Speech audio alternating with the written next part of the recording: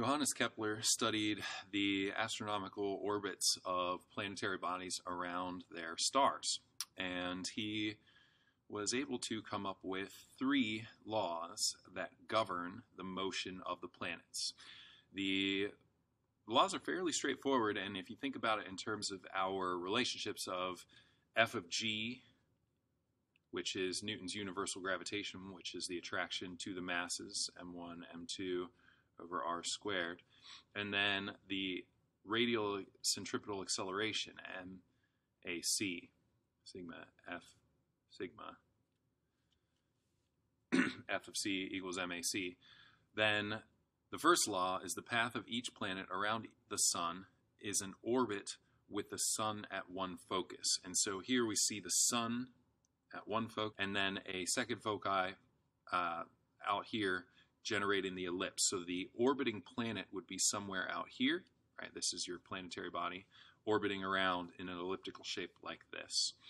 Um, what we have to imagine is that since this body is attracted to the sun according to Newton's gravitation and then is following somewhat of a centripetal acceleration, right? It's not a perfect circle, although in reality the distances for the mass of the planetary body to the sun are actually very, very far, and the actual distance between the two foci are much, much smaller than I've scaled it here.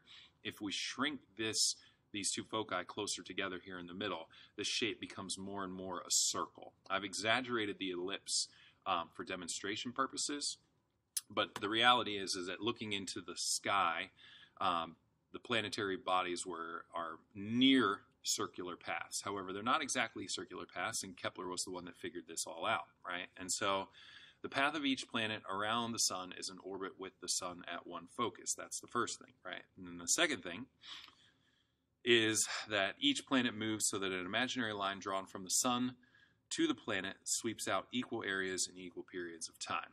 What this means is that due to the universal gravitation, this function f, right, is changing based on the radial distance away, which means the centripetal acceleration is varied ever so slightly as the planet moves around this elliptical path. And so what's I mean, what should be fairly intuitive is that the closer the planetary body is, the greater the force. This is because the radial distance from here to here, call this R1, is much less than when the pot, when the mass has rotated, orbited all the way around and is some location here, right? Remember that the sun is the main body doing the attraction. So R2 would be much further away out in this distance here.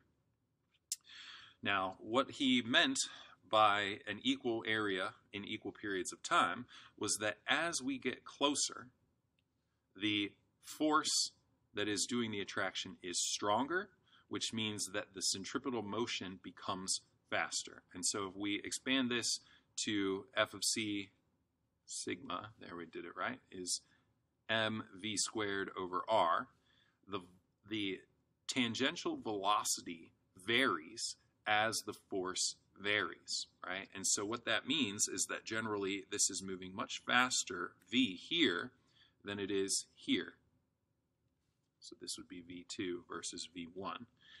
Due to that fact, the orbit speeds up on the periods where the sun it is the where the planet is closer to the sun which means that during the same period, some time frame, this moves along a much larger radial circumference and maps out this entire area in that period of time, whatever that period of time is. Now, you can arbitrarily set the period to be any amount one day, one minute, one year. Well, one year would be all the way around, but um, you know, one month, one one week, etc. But the point is, is that if the period, the time frame from position one to position two is held at a constant, so in the same period of time, then when the planet orbits further away, as it gets further away, the radius increases. As the radius increases, the force decreases, right? The centripetal force decreases, and therefore the velocity decreases.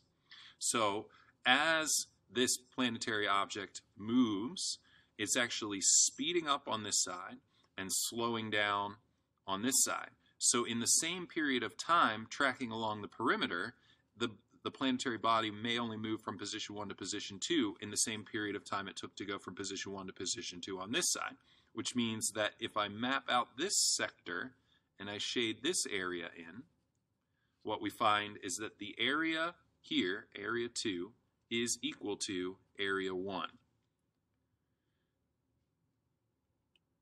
Geometrically, this makes sense based on our fundamental understanding of sectors, right? And the fact that as we get closer to the sun, the force increases, the object accelerates more and moves faster with a tangential velocity, mapping out equal areas in equal time. Now, the revolution of this is that using these two formulas, the gravitational attraction and the centripetal force, Kepler was able to derive his third law, right? The third law is that the ratio of the square of the periods is proportional to the cube of the radii.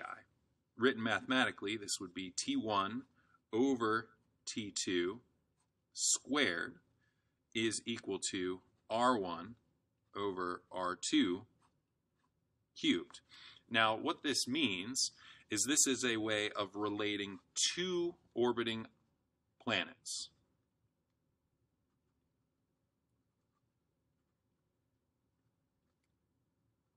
or satellites. So we compare one one's object one object's period to another object's period around the same central mass. Now there's a derivation in your book that goes through the exact math of using the force of attraction for one planetary body compared to another. But what you can imagine is that in our solar system, there are more than one planet, right? And so obviously, if this was one planet, we could compare it to another planet that would either be orbiting with a smaller orbit or a farther out planet that would be orbiting with a larger orbit.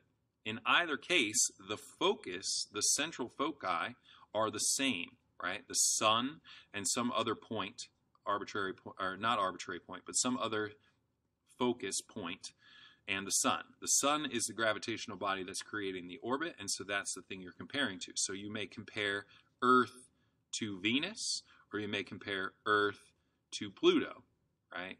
In either case, the ratio of the periods squared is comparable to the ratio of the radii cubed.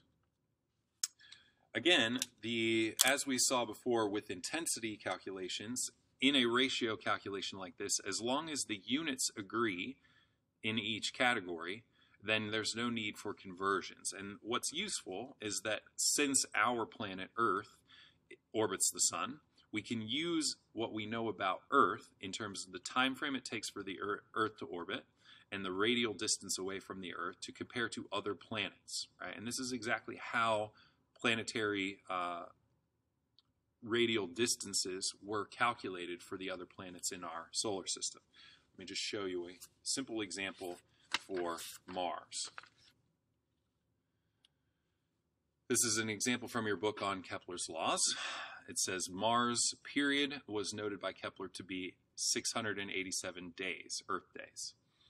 Now it's important that we note that it's Earth days because obviously you you could describe days differently depending on the planet. But in most cases, we'll be describing them strictly in Earth days.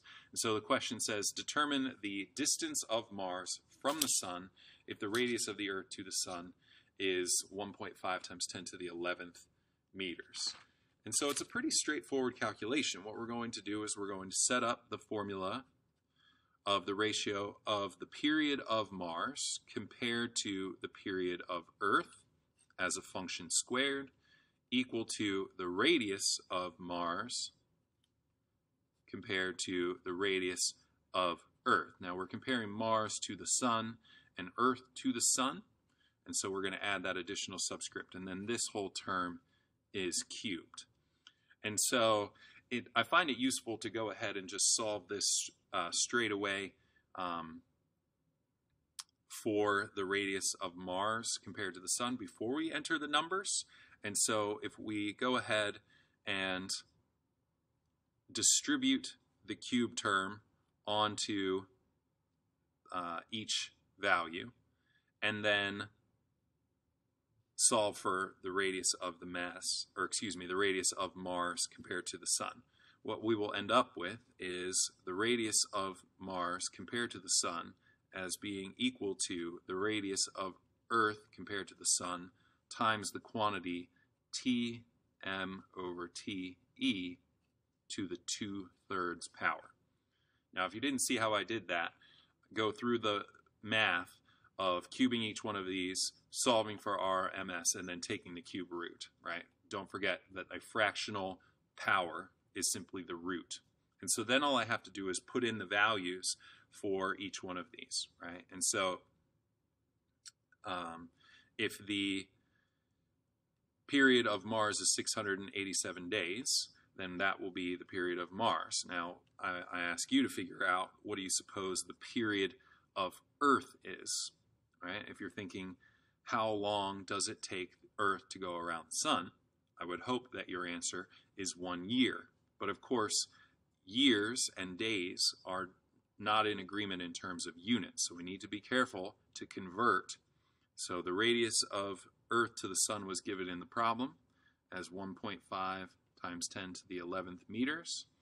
The period of Mars was 687 days. And then, of course, the Earth would be 365 days. Now, depending on your significance, you may want to call this 365.25, but since this has 3 sig digs and this has 3 sig digs and this only has 2, I think that's probably sufficient for your work. What you will what you should calculate as an answer here should be about 2.28 times 10 to the 11th meters. This would be the radial distance of Mars to the Sun.